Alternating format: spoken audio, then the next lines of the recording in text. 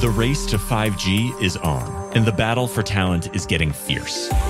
Welcome to 5G Talent Talk with Carrie Charles, a podcast dedicated to helping you face the future workforce head on. Navigate this challenging talent landscape with innovative strategies to attract, retain, and engage people in this new world of work. Only here on 5G Talent Talk with Carrie Charles, CEO of Broadstaff Talent Solutions.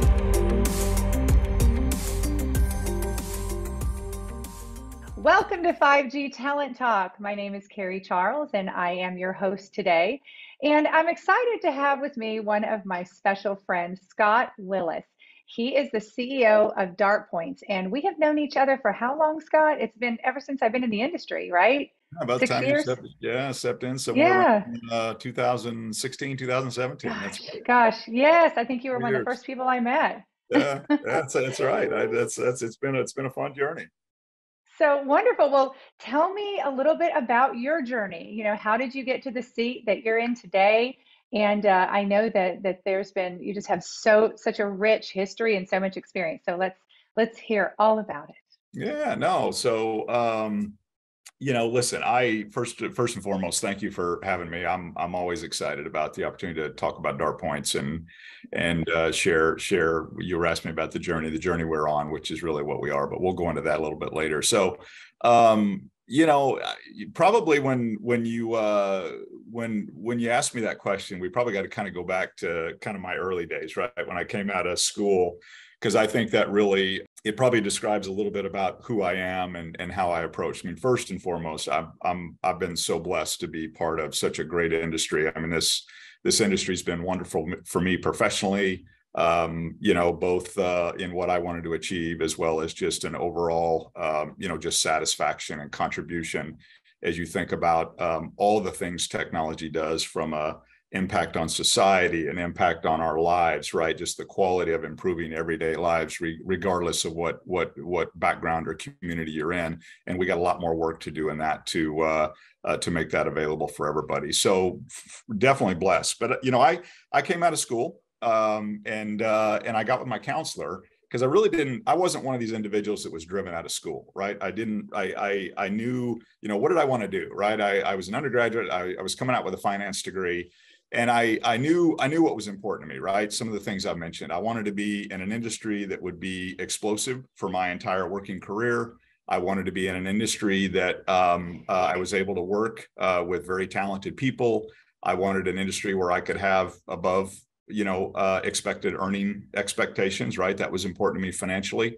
Um, and I wanted to be part of an industry that would have, you know, uh, an impact on on society. Those were kind of my parameters. And when I when I kind of look back, I came out in the mid '80s. Um, uh, you know, it, it's one where uh, four industries popped up. One was was kind of the legal profession, right? And if you think about since the mid '80s, that would have been a wonderful choice. Uh, didn't have a lot of interest in going to law school.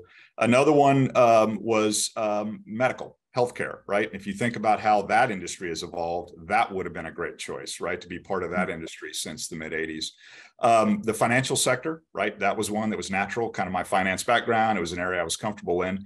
And then this industry kind of popped up with uh, with telecommunications, right? And I'm like, well, what is that? I had a uh, my my roommate was a computer science um, uh, uh, major, and he had a. I'm going to really date myself. He had a he had a a, a Tandy 64, you know, that we played games on, and I had a basic class that I, I I did some computing, and we sent across the the school VAX system, and I walked across campus and picked it up and turned it into class. So that was my kind of view of telecommunications. So I kind of researched that out and, and got started and uh, started uh, with Sprint. Um, had a great uh, 10 years with Sprint.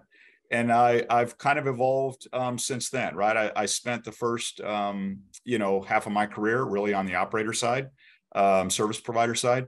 And then the back half has really been really on the wireless side. And, and that's really um, where I've been. So, you know, I stepped out of my my previous role um, about three years ago. Um, you know, and I'm I'm 57 years old, and so I've got a lot more road behind me that's in front of me. And so I really began to kind of kind of soul search on on what I wanted to do, and and uh, you know I wanted to be you know in in a, in a part of the industry that was going to be explosive through my working careers. As long as I wanted to work, um, I wanted to do something a little bit different than what I'd done on the wireless side um, and I wanted to be um, part of an industry that was you know new to me that I could learn and grow. And so that's where kind of kind of edge data centers uh, popped out of that. So I was fortunate to get connected with uh, Astra Capital. Uh, they are our uh, we're private equity backed and they're our owner and i got involved with them in mid 19 and did a little investment thesis work and we uh, we closed on our first platform company in uh, right when COVID kicked off in in March of 2020, mm-hmm. and we've been we've been going ever since. And I'm just I'm thrilled to be um, uh, part of Dart Points. I'm thrilled on the journey we're on, and I'm excited about um, you know the the the data center space is is I kind of refer to as the one of the three legged stools of digital infrastructure you know fiber towers and and data centers. You couldn't go wrong in any of those three. They're all going to be explosive for years to come and uh, we're excited about what we're trying to create here at DartPoint so you know it's it's it's been a it's been a great journey. It's been a, a fun journey and i'm i'm excited about what we've what we've still got to accomplish in in uh, what we're trying to do here at DartPoints sounds like you're just getting started at 57 That's right. I feel like I feel like that. I'm uh, I every day when I when I wake up, it uh, it it has that feeling to it. Yeah, but we're wiser now, right? That's right. We got we got a little more, a little more, a little more sense to what we're what we're trying to do, what we're trying to accomplish, which is which is definitely all so it makes it more fun. So tell me about Dart Points, the story behind it, uh, where you, you know, where you are today, and a little bit about what's been. Because I, I know you've had, just like you said, explosive growth. So I also want to hear what's behind that. Yeah, yeah. So um, you know, listen, the, the the the a lot of people that that really don't come or don't understand the data center space just kind of look at us as a as a single industry. Um, and it's not that. It's far more complex than right. It's very verticalized, right? You've got you know you've got hyperscalers, right? You've got um, you know more enterprise uh, centric colocation, cloud uh, managed service providers, which is which is really where we fall. So at a, at a simple level, um, that's what DartPoints is. We're an owner operator of colocation, cloud, and and uh, and a little bit of managed services, and that's what our portfolio represents. Um, and that's that's really what our target customer base is that we're we're going after. But where we're different, if if um, you know if uh, you know edge gets thrown around, and uh, edge means a lot of things to a lot of people. You you know this, you run into this every day, um, and uh, and you know I, I tend to use this analogy many times, and it's it's comical because others do the same, right? You line up 10 people you know you're going to get you know 12 15 different definitions of edge. And so um, in many ways that's exciting because there's an opportunity but in other ways it can be a little bit confusing to the market when you kind of describe like dart points as to you know when you say edge what do you mean? So here's our version right? Here's what we mean. We're we're not really trying to do something completely unique as it relates to edge right? We're really trying to um, you know, kind of kind of drive down what I kind of refer to as a as a previously paved road. If you um, if you if you really think about our industry, you could debate me maybe on time, but directionally I'm right. Um, you want to go back to the late '90s. That's where the internet hubs, the set, you know, the seven internet hubs really started, and I kind of refer to that as as the first ring of the digital highway, and that's Northern Virginia, that's Chicago, that's New York, it's Dallas it's um, you know it's it's it's L.A., uh, San Francisco, or Northern Cal, and and really uh, uh, Seattle. So fast forward, you know, uh, seven, eight, nine years, right? Uh, whatever time, the next ring of the digital highway was built out, and that's where that's where cities like Denver and Las Vegas and Phoenix and Atlanta, kind of those larger tier twos, smaller tier ones, were built out. So really, from from DartPoint's perspective, all we're all we're looking to deploy is really that third ring of the digital infrastructure highway. And we're targeting smaller tier twos larger tier threes and in some cases at least initially some larger tier fours. And all we're looking to do is enable the same quality of service the same capabilities the same competitive pricing that that customers in chicago or dallas or new york receive. We just want to deliver that in Greenville or Cincinnati or Columbus, Ohio or Charleston, South Carolina, which are the markets that we're targeting. So we're not doing that's really our definition of edge. As workloads are being pushed further and further out and much closer to the end user, we want to enable the same capabilities that you can get in, in Dallas right, in some of those smaller uh, communities and deliver it in a very competitive way. So um, that's really how I try to simplify uh, who Dart Points is and what our vision is and what our definition of edge is. Our definition of edge will evolve as workloads even push further beyond that over time. We will migrate and push closer and closer to the edge. But for the foreseeable future, that's how we think about the edge. That's how we're um, building, deploying, and and leveraging M and A uh, from a growth perspective to uh, to to realize the vision of what we're trying to do at Northwest.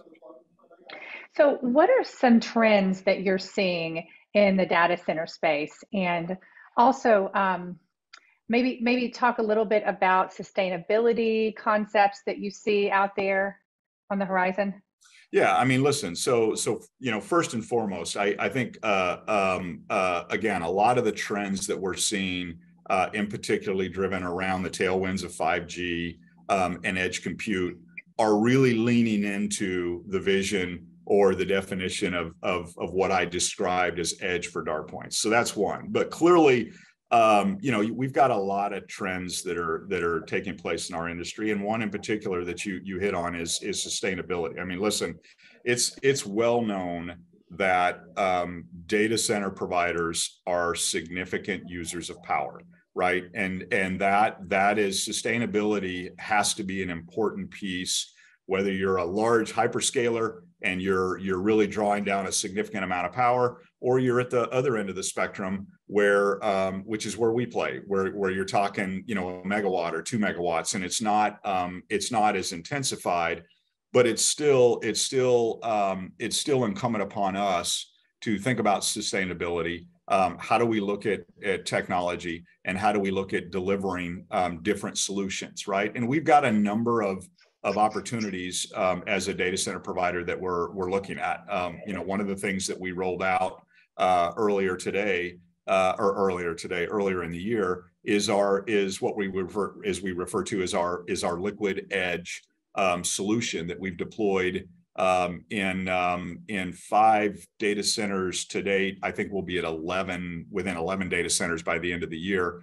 And this is really uh, it's an alternative technology, right? It's more of it's more of an HPC driven high performance compute type of use case. But it's it is two phase liquid immersion, right? So it looks at um, uh, alternative um, uses to power, right? Especially around HPC, where there's a lot of density, a lot of demand on cooling, a lot of power in a very small footprint. This is an alternative to that, where where you can eliminate that power demand um, uh, uh, very much in an air cooled environment and deliver the same capability in an alternative way. And that is that is one one example of how we're looking at sustainability to be innovative within our industry. And really, really that, you know, it it it it, it it's an it's an incumbent upon us to deliver what we believe are are unique um, alternative solutions but we want to do it in a way where we're also good corporate citizens of, of how we use technology to look for alternative um, uses uh, around sustainability. Yeah, so lot, lots of trends. That's an important one that's on the forefront of what we're doing, and we're uh, we're excited uh, to be to be one of the leaders and and kind of on the on on the emerging edge of of how do we deliver more sustainable solutions, but yet still deliver the the the capabilities and the solutions that the market's demanding around um, uh, compute, you know, processing and storage at a, at a local level. So Scott, over the past three years, I'm sure that you know your company culture at Dart Points has really evolved, and it sounds like it's still evolving right now. So talk a little bit about that evolution, and and particularly as you know as it relates to the M and A as well. Mm-hmm. So this is this is um, um, this is one of the things that I I get excited about, right? Because but you know because culture is fun, right? Creating culture, um, and you know I've I've been throughout my career I've been involved in very large you know corporations, and I've come into and I've had some big roles there, um, and it's difficult to have an impact, right? Whereas in a smaller organization, um, you you can have that impact and you can kind of create um, and and you know that right? I mean you you've you've developed a, a wonderful culture um, you know within your organization that that i think many can can look at and and and try to try to strive to to repeat. Um, um, so that's the fun part. That's where we are. Now the challenging part is because M&A is such an important piece of our growth strategy, and it will continue to be an important piece of our growth strategy, at least for the foreseeable future. When you when you bring companies together and you bring you know different cultures together, um, it's a challenge, right? Um, but it's but it's also it's also one that's that's uh, that's fun because we can pick the best of breed in those companies and we can choose to implement how we want to evolve our our, our culture over time. But I, I shared with you earlier, we started out with the initial platform of DartPoints in March of 2020. We uh, we uh, we acquired uh, Metro Data Centers (MDC) in Columbus, Ohio, in October of that same year, and then we closed on um, uh, uh, in summer of last year. Right, so we've put together three um, I, as I said, you'll, you'll, we've got a very active pipeline, and I think M and A will, will, will continue.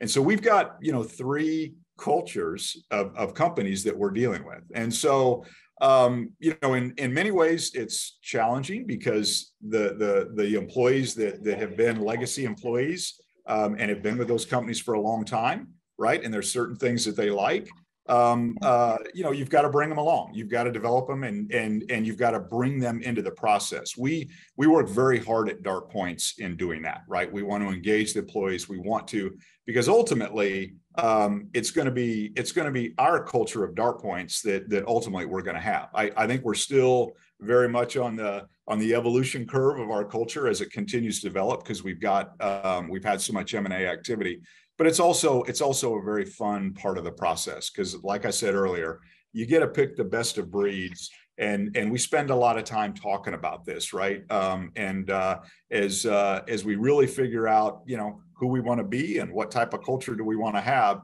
this is really creating the opportunity to do that. So it's it's fun to be part of that process and uh, and and it's fun to to to bring people um, um, from the organization into that process because at the end of the day it's not scott's culture or it's not the leadership it's not the leadership team's culture right? It's our organization and and who we want to be and what we want our culture to represent. So we're having a lot of fun in that process right now.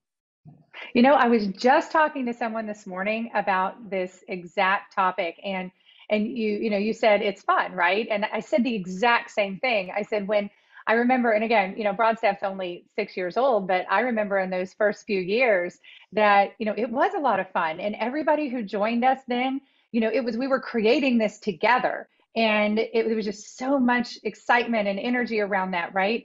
And so there's something very special to come into an organization at your place where where dart points is right now and enter into the organization, join that team and build it together. And even though there's challenges, yes, there's challenges with, you know, with the integration and here and there, but you know, you said it multiple times. I mean, it is really fun and it's a good time to enter. So, um, you know, I'm I'm curious about if you, you know, are you struggling with hiring right now? Do you have any, you know, are you facing any challenges or, or maybe you have specific strategies that are really working for you when it comes to hiring. And I know that we, you know, at Broadstaff, we work with Dart Points and, and we absolutely love working with you and the candidates that we have placed there absolutely love it there. So, but I'd love to get your tips as an experienced leader. Yeah, no, listen, we're we're no different than you know any other organization, right? We we uh, we struggle to compete, um, and you know, and and we work very hard to retain our re- retain our talent and keep people part of the process right? We're all in an environment where we've been experiencing you know some of the turnover. Um, but this is uh this is an we put a lot of emphasis on the hiring process right? You you know it right? You've worked with us and and you've you've placed some candidates with us which you know we couldn't be happier with. Um uh you know and and but when you're kind of a couple of things. One is just generally your our size hiring is important, right? Because whether you're hiring, uh, you know, a frontline, you know, working level person, or you're hiring a mid-level manager, or you're hiring a, a senior level, they're visible in the organization, right? Uh, in our size, they they have an they have an impact. Um, you know, two is, you know, when you're an organization that's our size, in in many scenarios, you're you're single threaded with skill sets and competencies right? So having the right person and having the right skill set is is very very crucial right and that's important you have to really make sure that you bring in because um, you know if you if you make a mistake or you bring the wrong person in it's impactful and it's impactful in a in a significant way versus you know some of my you know my previous you know companies like a like an Ericsson or a Nokia some of the bigger ones right? Doesn't it doesn't what I'm saying doesn't diminish that hires aren't critical for those organizations as well. They're just amplified in a in a smaller organization like Dartpoints and so um, you know when we when we you know when we when we determine we have a need um, you know, it's important, right? And we try to collectively, the things that I think have worked well um, are uh, we really work hard to leverage the organization the relationships that people have in the organization, um, um, our our networks, my networks, right? Who um, Astra, our our capital, their networks, because we want to. You you know this as as as well as anybody, you know, being in in in your business, right? If you if you know someone and you've got experience with someone and you know their capabilities man, that goes a long ways in in adding credibility in the hiring process. So we really we really try to we try to focus and leverage that. Um, sometimes that works, and sometimes you know it, it, you can't get the right candidate. Um, you talked about culture, right? Um, that's that's important, right? It's it's finding um, it's finding someone who we really think is going to be a good fit. Um, and it's tough, right? Because it's it's finding someone who will be a good fit in our culture today but also knowing where we want to take our culture and how we want to evolve our culture will this person be a good fit as we're as we're looking to looking to evolve? So that's an important part of, of what we do right? And and sometimes as as managers i talk about my my leadership team all the time right? I mean sometimes it's it's easy to you know kind of hand that off or you know hand it over to, to you to kind of do the whole process and and and what we try to try to engage with the team is is to be very involved because at the end of the day, um, you know, the organization, me, the leadership team, and the managers that are actually hiring, you know, they they own that process. They need to be involved in that decision making process. So there's uh, there's many important things that are on our plate on a daily basis, but getting the right team members as we bring them into Dartpoints is crucial and it's one of the higher priorities and you've got to you got to invest time into that right you got to you got to focus on it um, and if you don't you shouldn't be surprised that you you don't get the the end result you're looking for. And that's that's how we approach hiring and that's how we think about it. Well said. Well said. And I love that you said you have the leaders have to be involved. And I know that it's important to all leaders, especially now more than ever, but leaders are very busy and they tend to sometimes, you know, just not give feedback or put this on the, you know, put it on the back burner or get too busy to respond or to look the resumes. And and the way that talent is flying off the shelves right now it's so important. And, and, you're absolutely right your leadership is is very very involved and committed to the process. So question. When we when talking about leadership and, and scott i've known you for a number of years and i know that you are a tremendous leader so i'd like to know a little bit about you know who is scott willis as a leader and maybe some of your principles that guide you yeah, I mean, listen, I um uh you know, I I have a lot of fun at the role I have. I have a I, I have I, I enjoy what I do, you know, but I, you know, I my approach to leadership is um, you know, it's not it's not it's not Scott, right? It's not me, right? It's really it's a collaborative um, um, team environment um, that I that I try to create, right? I mean, at, at, the end of the day, yes, do you have to sometimes have to make a decision, move forward? Of course you do, but I I work very hard, right, at instilling all the way down the organization. I was in I was in uh, I was in the Carolinas last week, and we were doing account reviews with the with the Southeast team.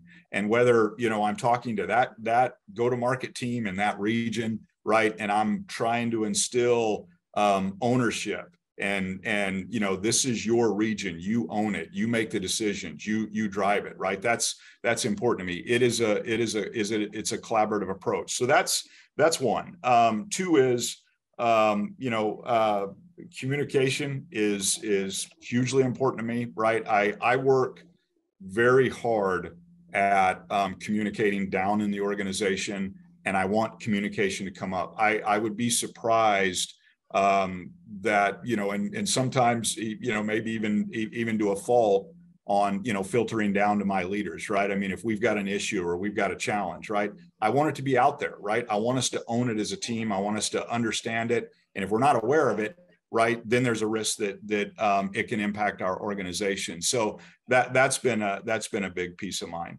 um, the other piece is uh, you know if if you kind of relate back to our culture um, that's that's kind of big to me is is you know being purpose driven right? I, I, I, that, that to me is one of the most important things that I think I can instill in an organization and that I want all of us to be, right? I want us to all wake up and have a purpose in what we're doing, right? I want us to know what that purpose is. I want us to all collectively buy into that. Um, and and um, to me, that's an important piece of um, of um, of leadership as uh, as you look at in, any individual. I mean, is your is your organization whatever the purpose is, right? Whatever the purpose is, are you are you purpose driven in uh, in uh, in everything that uh, that you do? And I like to feel like uh, in Dartpoints we are, right? I mean, we're we're purpose driven and we're passionate around um, delivering services to our customers, right? Our our uh, our value proposition is not only geographical, right? The definition that I gave of edge, but it's also around customer service, right? It's we want to at a local level, we want to wrap our arms around our customer and we want to deliver best in class solutions. That's purpose driven, right? That is that is that is part of our our culture and it's what we're trying to instill up and down up and up and down the organization. Um, and and I also, you know, you've you've known me, right? I'm I'm one that um, I like to I like to have fun with the team. I like to have fun with our leadership team. Um, I want us to grow. I want us to be successful. I want us to achieve our objectives when we when we set out um, uh, for any any given year. But I also want us to recognize that um, you know we're we're we're there with a with if I kind of use the word purpose, we're there with a balance too, right? I mean, people have personal lives, people have family, people have personal interests, and and if you can bring all that together and achieve collectively as an organization um, what you set out to do um, you know, I think any any leader of that organization is is going to be viewed as a as a successful leader, and that's that's what I that's what I really try to work towards. So, Scott, tell me about your vision for Dart Points. So, I mean, it's pretty it's it's pretty simple. It's what it's what I it's what I stated earlier, right? We we want to deliver. We want to we want to deliver um, uh, world class class solutions, right? Um, into into markets um, in a in a price competitive way that delivers the same capability in in Greenville, South Carolina that you can get in New York or Chicago or LA, right? We want to be community um, agnostic in terms of what our services and our capabilities are.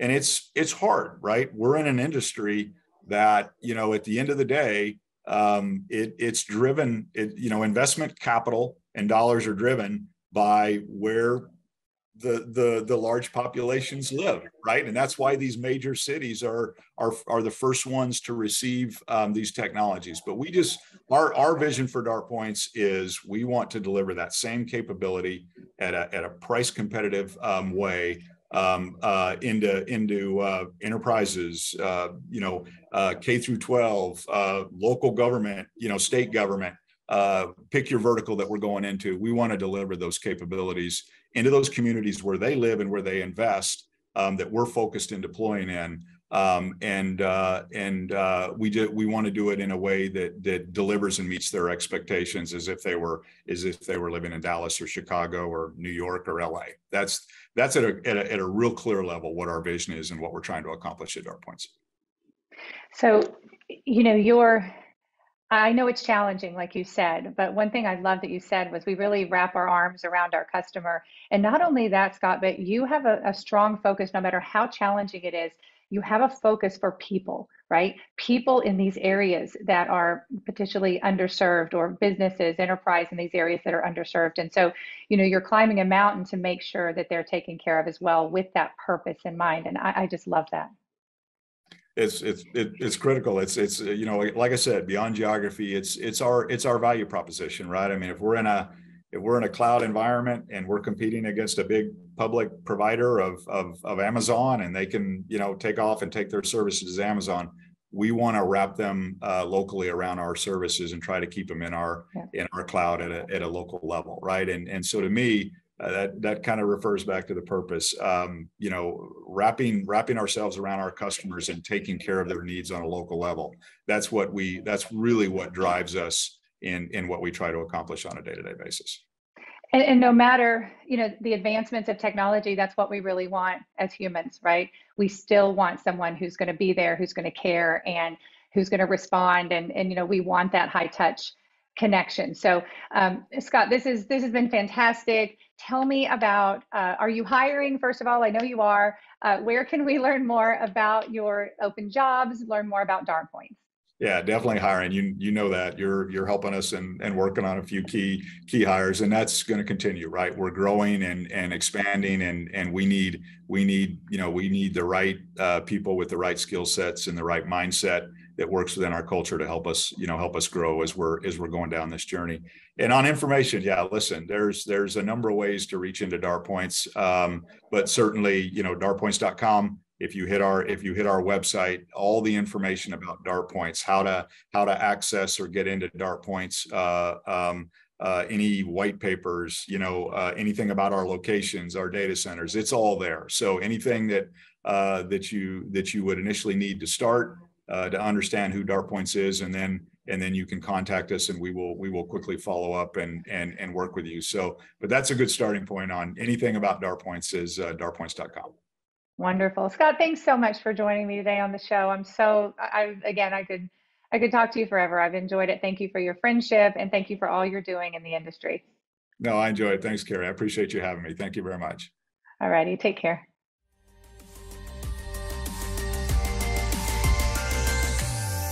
Thank you for listening to another informative episode of 5G Talent Talk, brought to you by RCR Wireless News telecom careers, and Broadstaff Talent Solutions. As we advance into the future, we promise to bring you the resources you need to navigate this ever changing landscape of 5G to help you attract, retain, and engage people in this new world of work. To access the show notes or leave a review, visit broadstaffglobal.com. Until next time.